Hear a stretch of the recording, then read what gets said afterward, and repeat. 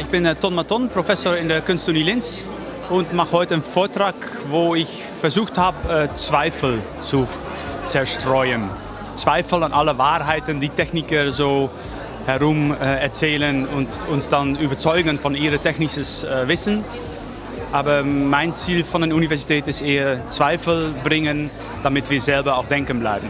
Ich glaube, was wir in den nächsten Jahren merken würden, dass äh, die Leute nicht mehr wie selbstverständlich die Technologie akzeptieren, aber dass auch das Menschsein, auch in der Technologie, äh, sehr, viel wichtiger. Wir übernehmen die Kontrolle wieder zurück, sozusagen.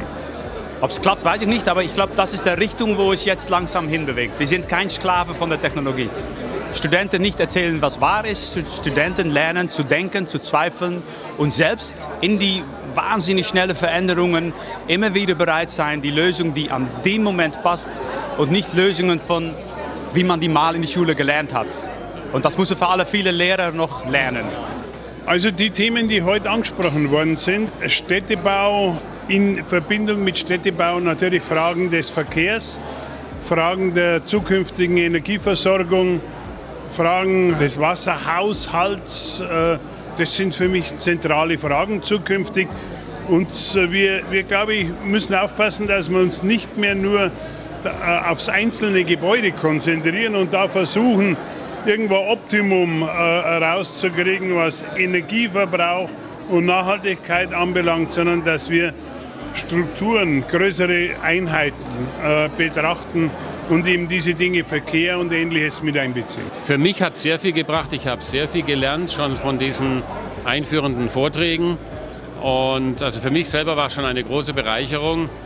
Und ähm, also ich kann nur sagen, ich habe profitiert und ich gehe davon aus, dass alle anderen, die hier sind, auch sehr profitiert haben. Leonardo da Vinci wurde von ihnen inspiriert. Das heißt, wir müssen im Grunde wieder eine Ausbildung machen, so wie sie früher mal war, diese richtige Baumeisterausbildung, Brunelleschi-mäßig und das dann koppeln mit moderner Technologie. Und das ist für mich eben äh, der Roboter, weil der ist meiner Meinung nach, sage ich jetzt mal, äh, das Werkzeug der Zukunft.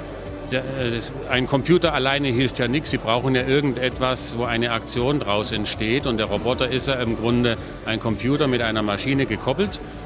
Und insofern würde ich sagen, von den Weisheiten der alten Baumeister wie Brunelleschi lernen und das mit neuem Wissen kombinieren und dann sind die Studenten für die Zukunft gerüstet. Nachhaltigkeit ist ja hier das Thema, was schon an vielen Stellen und den Vorträgen immer wieder äh, zur Sprache kam, aber auch Recycling und vor allem Baustoffe. Sehr spannend, also die Vorträge kommt man ja nicht dazu, im Alltag zu hören, dass man mal über den Tellerrand wieder schaut und die Eindrücke mitnimmt, was so aktuell angesagt ist und wie die Weiterentwicklung in unserem Bereich, in dem wir arbeiten, läuft. Ich fand es sehr spannend und ich fand es sehr schön, dass anscheinend nicht nur die DGNB jetzt in ihrem zehnten Jahr selbstkritisch ist, sondern dass im Grunde sehr viele von den Referenten ja auch ihre eigenen Tätigkeiten etwas selbstkritisch in Frage stellen. Und wir sind auch der Meinung, das ganze Thema Circular Economy war ja einer der, der Vorträge, ist das Zukunftsthema. Äh, von dem her freut mich das natürlich sehr, dass man da in eine Richtung denkt.